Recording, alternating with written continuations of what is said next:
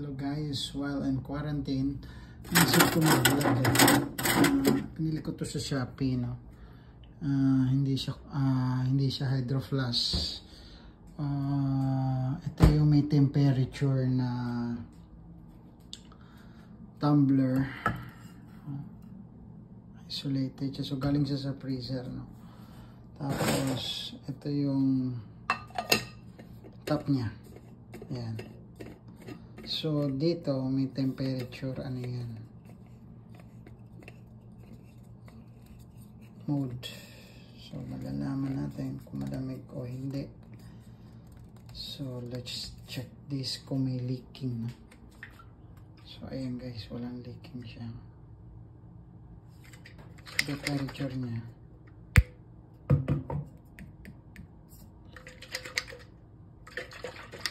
Ang lobat na ata.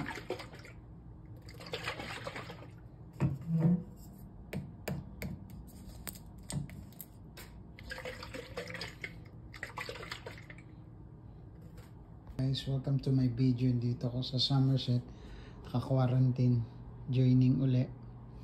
So, papakita ko sa inyo yung binili ko sa Shopee. No? Uh, parang Aqua Plus pero ito yun yung guys yung may mga temperature no? Yan. try natin ngayon so, ayan galing siya sa malamig sa freezer gawa tayo ng eksperimento no? Oras pa lang ngayon time check 1.26 ng hapon so yun seal natin check natin for leak test Uh, tama higpit lang. So, awa ng Diyos, wala naman leak. Uh, tapos check natin yung temperature. Ayan, 19. So, malamig, di ba? So, ngayon magbo-boil ako ng water. Ayan. Fresh water yan, mineral. On natin. Then that's it. Kasi ang gagawin ko dito guys, ngayon natin siya sa freezer. Check natin after 2 hours kung mainit pa rin o hindi. So itong water na to, mineral to, yan is so nice na.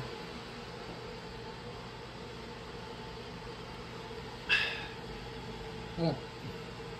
Inumin ko lang guys para hindi masayang yung tubig.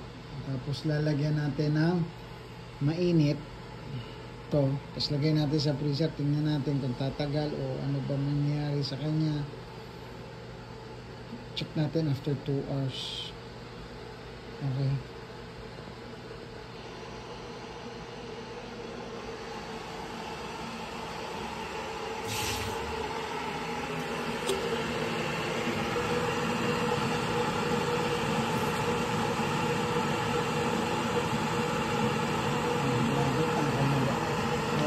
ano to? Sauce. So, cream, coffee, o parang coffee.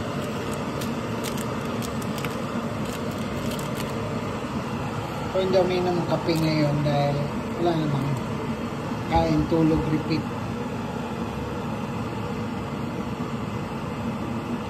Yan, lapit ng manok. And then, lalagay ko na siya. We put it in the freezer. We'll check if it is good insulation. Ganda ba siya? Sana lang tumagal yung init. Kasi vacuum mug siya. Ano guys? Vacuum mug. Yes. Yan siya. Ano naman na may? Okay naman. Stainless steel.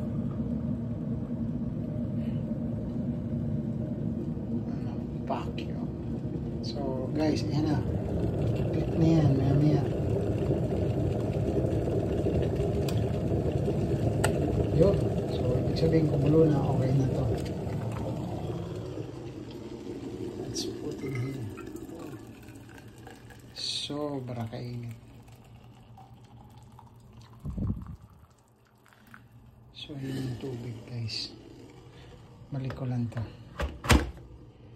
Yan na. So, lagyan ko ng cover. Since kanina, kaya 19 yan. Kasi syempre sa malamig, eh, galing eh. No?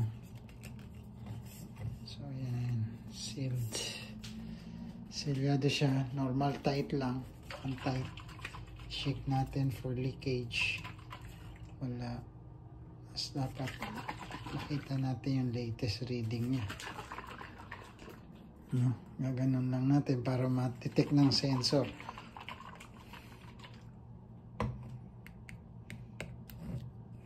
So 39, umaakit na yung temperature.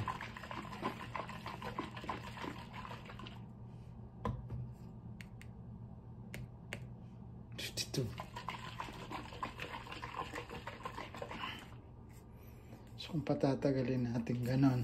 No? So mas mabilis. Kasi na feel ng temperature yung exact measurement. And tada. Check. 73 pumula na. So guys, aakyat pa yan kasi talagang na nasisensya na yung init no? so ang gagawin natin ngayon guys eh tiwa na so na natin to dito. Sa ref na to. Sa freezer. Okay? We'll see after 2 hours kung ganyan pa rin or anong binaba niya. So 81 ang last. Okay guys, time check 201. Tapos open natin, tingnan lang natin kung ano na ang sitwasyon dito, mainit, napakalamig po. Ha? Ang loob, nasa 85. Wow. Hmm. Nag-drop na po siya ng 60. 60 na po ang temperature from 81, di ba? Yan, 60 na po. So, mainit pa rin po ah. Yan. 61. Okay, 60, 61. Okay, wala pang dalawang oras, babalik uli. Yan.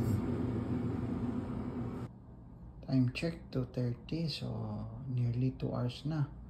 Check natin dito kung anong status nito, kung mainit ba o ano na. So,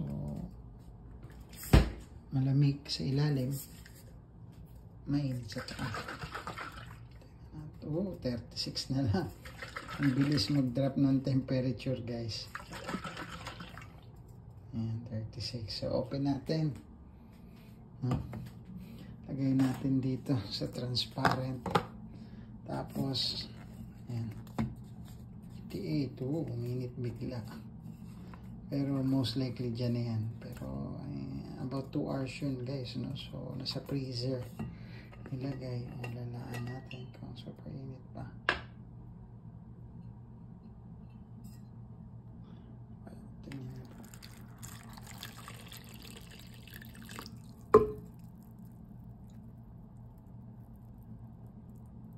So, ayan, hawak ako maligamgam. Pero okay pa rin ha. Mainit pa rin. Mainit. Swear. Nakapaso pa rin. So, lagyan natin yung itlog. Yun. So, basag na kasi itlog. Ano, advisable guys. Pero, swear, mainit pa rin. Yeah. Pwede na. So, that's good for 2 hours. No? Siguro naman about 2 hours. Ubus mo na yung kape mo. No, not bad. Hmm. So, yun ang masasuggest ko sa inyo okay yung quality nito yes buy yan oh.